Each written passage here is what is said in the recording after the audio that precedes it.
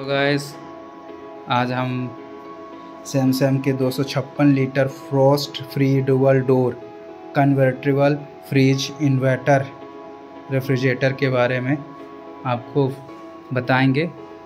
Look wise बहुत ही अच्छा दिखता है। ये आपका टेम्परेचर है कि फ्रिज की टेम्परेचर कितनी करने का। बटन प्रेस ऑप्शन दिया है।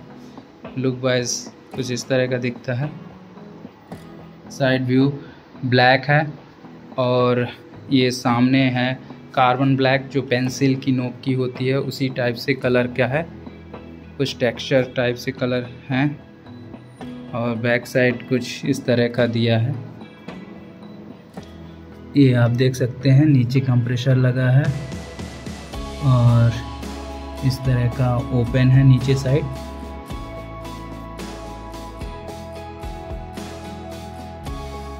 और साइड व्यू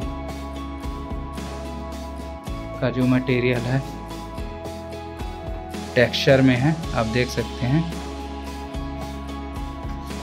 और जो ये ऊपर का भी टेक्सचर टाइप से है। अब इसके फ़ंक्शन की बात करेंगे। पहले आपको फ्रंट व्यू दिखा दें, कुछ इस तरह का दिखता है। ये सैमसंग का थ्री स्टार है, दो सौ छप्पन लीटर का। ये देखिए कन्वर्टेबल फ्रीजर है, ठीक है? अब हम इसको ऊपर का सेशन दिखा देते हैं, कुछ इस तरह का है। आपको दो दो बॉक्स मिलेंगे, और इसमें जो है बर्फ़ जमाने के लिए इसमें आइसक्रीम के लिए ऑप्शन दिया है। और ये इसमें बर्फ़ में जो साइडों में जम जाता है बर्फ़, वो नहीं जमता इसमें। जब किसी पैकेज या बॉटल या डिब्बे में रखेंगे, तभी आपको फ्रेज्ड होगा। ठीक है ना? जैसे इसमें रखते हैं हम बर्फ़ तो ये जम रहा है ये। लेकिन अगर ऐसे में बर्फ़ नहीं जमेगा, किसी चीज़ में, किसी भी ऑब्जेक्ट में अंदर रखेंगे, तब ये बर्फ़ जमेगा। ठीक है ना? जैसे इसमें बॉटल, हैरी कुछ भी। अब जैसे इधर का दिखाते हैं आपको। कुछ इस तरह का लुक दिखता है। अभी हम ऑन करके दिखाएँगे। ये ये जो है मैट कहते हैं, इसको अलग से लिया जाता है परचेज़ किया जाता है। ठीक है? कुछ इस तरह का है। वेजिटेबल रखने के लिए, यहाँ सामान रखने के लिए, ये बॉटल के लिए यूज़ स्पेस है इसमें। नीचे आपको अगर हम बॉटल रख के बताते हैं तो नहीं आ रहा है ये वाला, ठीक है? तो ये छोटे छोटे बॉटल के लिए है।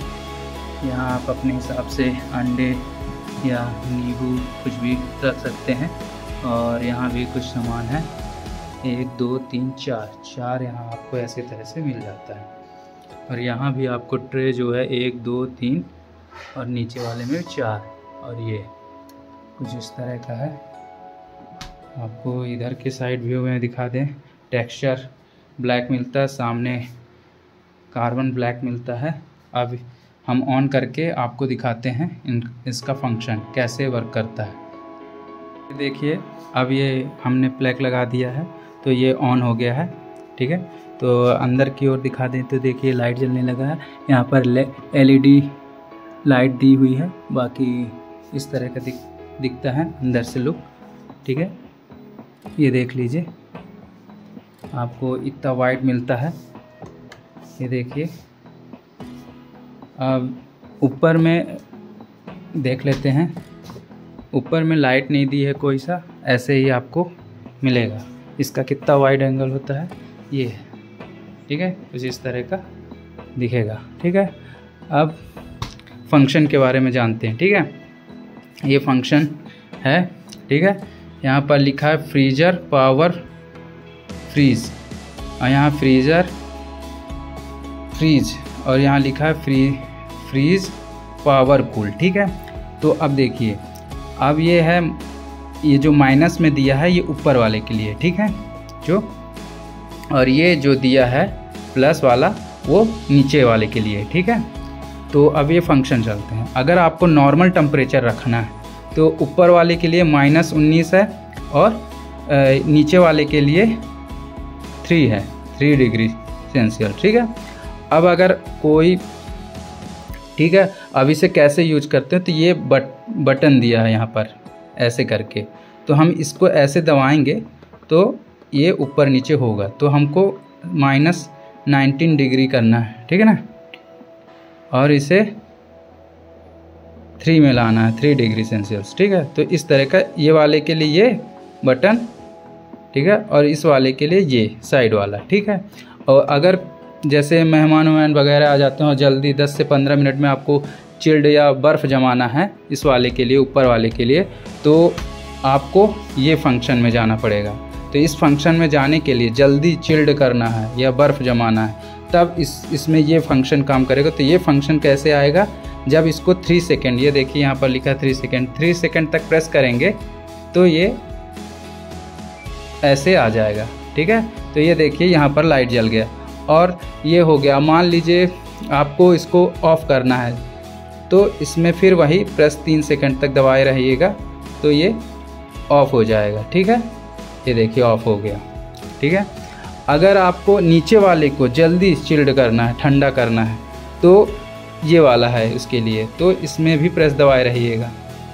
तो जब प्रेस दबाएँगे तो ये वाले में आ जाएगा, ठीक है? तो ये नीचे वाले के लिए फास्ट चिल्ड करने के लिए। अब जैसे ठंडी वंडी वगैरह में अगर आपको नॉर्मल रखना है, मान लीजिए नहीं जमाना है कुछ भी, सिर्फ़ फ्रीज़ बनाना है तो फ्रीज़र बनाना है तो इसके लिए ये वाले फ़ंक्शन में जाना पड़ेगा। तो इसको आप थ्री सेकेंड तक प्रेस करिए। ये तो ये इसमें आ गया। और इसे, ये वाले को ऑफ़ कर दीजिए। ठीक है? तो ये पहले इसको ऑफ़ कर दीजिए। अगर इसे भूल गए हैं ये वाले वाले फ़ंक्शन के वाले को तो ऑटोमेटिक दो से ढाई घंटे बाद ऑटोमेटिक वो ऑफ़ हो जाता है। ठीक है? अब ये है, जब आप ठंडी उंडी में, जब आपको ठंडे पानी की ज़रूरत नहीं पड़ती या बर्फ़ की ज़रूरत नहीं पड़ती तो ये इसके लिए ये फ़ंक्शन है।